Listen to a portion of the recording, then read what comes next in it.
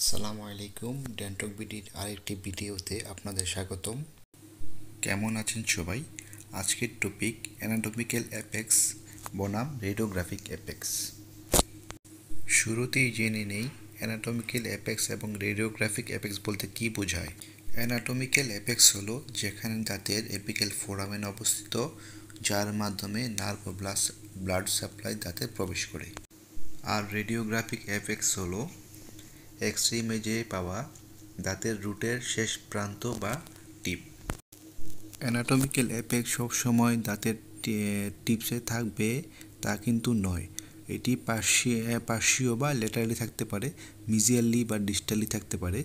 সেই ক্ষেত্রে working length বাহির করার সময় যদি রেডিওগ্রাফিক অ্যাপেক্সকে ফলো করা হয় তবে ক্যানেল পারফোরেশনের প্রিপারেশনের সময় অ্যাপেক্স পারফোরেশন অথবা অবচুরেশনের সময় জিপি এক্সট্রুশন বা ওভারসিল হওয়ার সম্ভাবনা থাকে।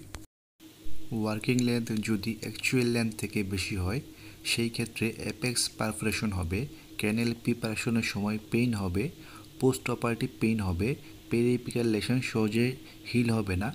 সর্বোপরি রুট ক্যানেলটি রুট ক্যানেল সাকসেস রেট কমে যাবে। ছবিটি লক্ষ্য করলে ভালো করে বুঝতে পারবেন অ্যানাটমিক্যাল অ্যাপেক্স এবং রেডিওগ্রাফিক অ্যাপেক্সের পার্থক্য। রেডিওগ্রাফিক অ্যাপেক্সকে ফলো করে অবজুয়েশন করার কারণে জিপি অ্যানাটমিক্যাল অ্যাপেক্স থেকে বাহির হয়ে গিয়েছে বা ওভারসিল হয়ে গিয়েছে। অনেক সময় ক্যানেলের ভিতর ফাইল ঢুকিয়ে এক্স রে করার পর দেখা যায় ফাইলটি ঠিকঠাক মতো অ্যাপেক্সে গিয়েছে বাট রুগী ব্যথা অনুভব করছে। এই হলো তার কারণ। ছবিটি আপনারা লক্ষ্য করলে দেখতে পারবেন। ফাইলটি অ্যানাটমিক্যাল অ্যাপেক্স ওভার হয়ে, বাহির হয়ে আসছে। পরিশেষে বলতে হয় অ্যানাটমিক্যাল অ্যাপেক্স নির্ভুলভাবে নির্ণয় করতে হলে অবশ্যই অ্যাপেক্স লোকেটর ব্যবহার করতে হবে। রেডিওগ্রাফিক ইমেজ অথবা এক্স রে যেহেতু দ্বিমাত্রিক ছবি, তাই অ্যাপেক্সের সঠিক লোকেশন জানা সম্ভব নয়। বাজারে বিভিন্ন ধরনের অ্যাপেক্স লোকেটর অ্যাভেলেবেল রয়েছে।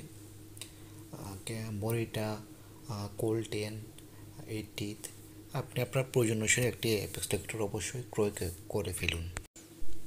ধন্যবাদ, আল্লাহ হাফেজ।